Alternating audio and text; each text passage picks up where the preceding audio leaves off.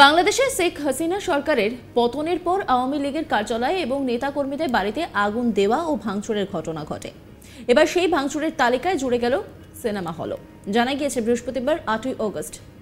নাটোরের গুরুদাসপুর উপজেলায় আনন্দ সিনেপ্লেক্সে ভাঙচুর করে দুষ্কৃতীরা। প্রায় দু ঘণ্টা ধরে অবাধে ভাঙচুর ও লুটপাট চলে বলে অভিযোগ। তালা ভেঙে দুষ্কৃতীরা বৃহস্পতিবার সন্ধ্যায় স্থানীয় সময় সাতটা থেকে রাত নটা পর্যন্ত এই ভাঙচুর ও লুটপাট করে। জানা গেছে দুটি সার্ভার, একটি কম্পিউটার, চারটি মনিটর, আটটি সাউন্ড বক্স, দেওয়াল ফ্যান, দুটি অগ্নি নির্বাপক সিলিন্ডার, সাউন্ড সিস্টেমের যন্ত্রাংশ সহ সবকিছু লুটপাট করে নিয়ে গিয়েছে দুষ্কৃতীরা। এছাড়া দর্শকদের বসার চেয়ারও ভাঙচুর করা হয়েছে। প্রায় তিরিশ থেকে চল্লিশ লক্ষ টাকার ক্ষয়ক্ষতি হয়েছে বলে জানিয়েছেন হল মালিক।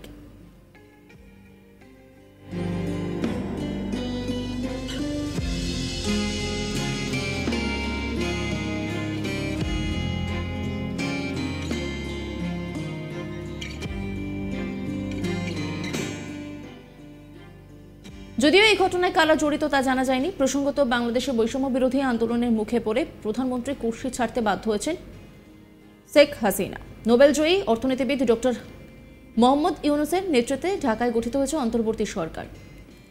কিন্তু তাতেও বাংলাদেশে অশান্তি থামার লক্ষণ নেই বললেই চলে। বাংলাদেশের সংখ্যালঘু হিন্দুদের উপর অকথ্য অত্যাচারের অভিযোগ ঢাকার সার্ভাক স্কোয়ারে মিছিল করলেন লক্ষ লক্ষ সনাতনী হিন্দুরা। অবিলম্বে হিন্দুদের উপর অত্যাচার বন্ধ করতে হবে।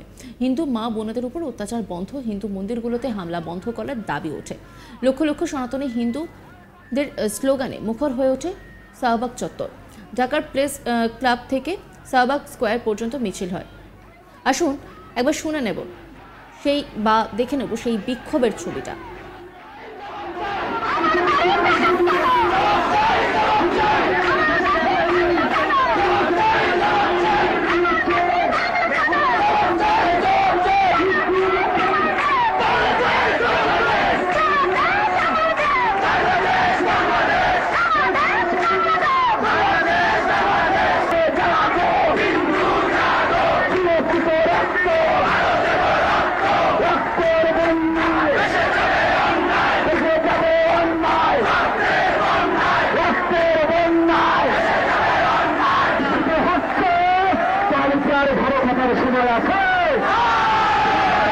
করুন, আপনার ঘর বলছে আপনার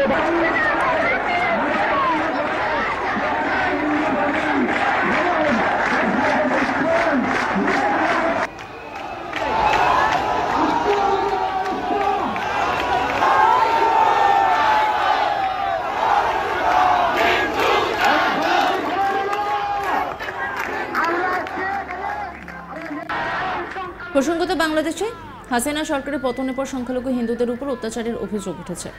হিন্দু মন্দিরগুলিকেও ভেঙে গুড়িয়ে আগুন ধরিয়ে দেওয়ার অভিযোগ উঠেছে। শেখ হাসিনা সরকারের পতনের পর বাংলাদেশে এখন নোবেলজয়ী অর্থনীতিবিদ মোহাম্মদ ইউনুসের নেতৃত্বে অন্তর্বর্তী সরকার গঠিত হয়েছে। কিন্তু এখনও যে বাংলাদেশের পরিস্থিতি মোটেই শান্ত হয়নি তা বেশ বোঝা যাচ্ছে। বারবার আইন শৃঙ্খলা পরিস্থিতি ফিরিয়ে আনার কথা বলা হলেও আদৌ কি তা হচ্ছে? বাংলাদেশের এক মহিলার বিবৃতি শুনলেই সে কথা বোঝা যায়। এই একটি সাক্ষাৎকার ভাইরাল হয়েছে সোশ্যাল মিডিয়ায়, যেখানে দেখা যাচ্ছে বাংলাদেশের এক মহিলা মিডিয়ার সামনে ইন্টারভিউ দিচ্ছেন। তার দুপাশে বসে রয়েছেন তার বাবা ও স্বামী। এই মহিলা অভিযোগ, তার বাড়িতে বিএনপির নাম করে হামলা চালিয়েছে আওয়ামী লীগের ডাকাতরা। ওই মহিলার অভিযোগ, তার বাড়িতে হানা দেওয়ার পর তিনি তার গয়না, টাকা, পয়সা বাড়িতে যা ছিল সবই তিনি তুলে দেন ডাকাতদের হাতে। তিনি কি অভিযোগ করেছেন শোনাব আপনাদের। ওরা চাপাতি গলার সাথে আমি চিৎকার করছি তোরে কর টাকা পয়সা যা আছে বের কর। এবার টাকা পয়সা যা ছিল দিছি, সোনার এই কানে গনে ছিল, তাও দিছি, যা ছিল এমনি দিছি তার আরও লাগবে। এত হইবে না, আরও আছে আর নাই ভাই, এই দিয়ে তো এই ঘর উঠেছি। না, আরও আছে। তুই ই বেশি তোর খবর আছে। হ্যাঁ এবার সবকিছু দিদি আমি তোর বাপের আর স্বামীর থেকে তুই সোনা গয়না বেশি ভালোবাসো? হ্যাঁ তুই তুই ভালোবাসো না হাগো তুই যেতাছো না। সব দিছি আমি কি আর তো নাই সব ঘর দিয়ে দিয়েছে এবার তন্ন নিজেরাও তন্ন নন্ন করছে। তন্ন নন্ন করে আমি সব দেখেন? কোথাও আর নাই যা আসলে সব সব দেবার তারপর কয় আমাদের আছে। উপরে নির্দেশ আছে। তোরে কি কোন জায়গা যেন একটা কথা বলছে আমার মনে নাই যে তোরে সাত নঙে নিয়ে যাব। এই এই জায়গা সেক্টরে সাত নং সেক্টরে নিয়ে যাব। তোর বাপেরে কিন্তু এই সেই করে শেয়ার করবে শেষ করবে। আর তোর স্বামীরও শেষ করবে। তুই সবকিছু দিয়ে দে। আর তোরা যদি বাঁচতে চাও এই জায়গায় থাকতে চাও এই তোরা থাকতে পারবি না কিন্তু জীবনে যদি বাঁচতে চাও তাইলে কালকে সকালে কেউ যেন না থাকে এর আগে চলে যাবি। না না ওই যে যারা হ্যাঁ, ও বলছে যে আমরা বিএনপির লোকজন। লোকজন সাহায্য সাহায্য আমাদের উপর থেকে অর্ডার আছে নাইলে আমাকেও খবর বানাইবে কিন্তু কিন্তু অরিজিনালি তারা বিএনপির লোক না আওয়ামী লীগের লোক। আমরা জানি না কিন্তু বলছে অর্ডার আছে আমাদের উপর থেকে। বলছে আমাদের উপর থেকে অর্ডার আছে। তোর বাপেরে শেষ করে যেতে হবে। তাই তোর কি জিনিসপত্র? তাই তোরা যদি বাঁচতে চাও জানে সকালে কারও কাছে বলবি না। আর এই মালপত্র অনেক আরও অশান্ত বাংলাদেশে ইসকনের মন্দির ভেঙে গুড়িয়ে দেয় আন্দোলনকারীরা।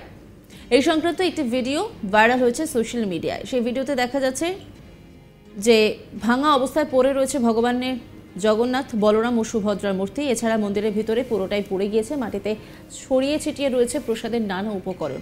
এই মন্দিরটি বাংলাদেশের খুলনা বিভাগের মেহেরপুরে অবস্থিত। বাংলাদেশে অন্তত আরও পাঁচটি হিন্দু মন্দিরে হামলা চালানো হয়েছে বলে সূত্রের খবর। কলকাতা ইসকনের ভাইস প্রেসিডেন্ট ও মুখপাত্র রাধারমন দাস, তিনি এ বিষয়ে কি বলেছেন শোনাব আপনাদের। बांग्लादेश में स्थिति बहुत ही नाजुक और चिंताजनक है। निरंतर हम लोग अपने भक्तों के संपर्क में हैं।